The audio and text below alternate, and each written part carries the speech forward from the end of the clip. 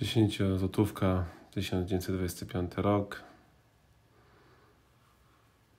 Egzemplarz, który naszym zdaniem mógł otrzymać ocenę proof like. Aczkolwiek myślę, że NGC ostatnimi laty rozdało trochę takich ocen, stąd pewnie są coraz bardziej ostrożni w przyznawaniu kolejnych.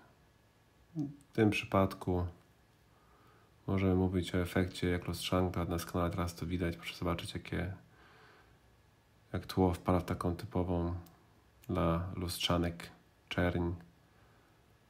A detal znakomicie tutaj rysunek się odcina. Jest troszeczkę mgły przed postacią. Także no, można powiedzieć, że ocena mogła być,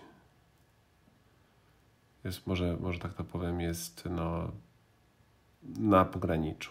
Stąd myśmy tutaj dopisali, aby zwrócić uwagę na, na świeżość stempla, jakim została, został wybity ten egzemplarz. Piękna moneta, piękny egzemplarz technicznie bardzo dobrze oceniony MS65. Także polecamy uwadze.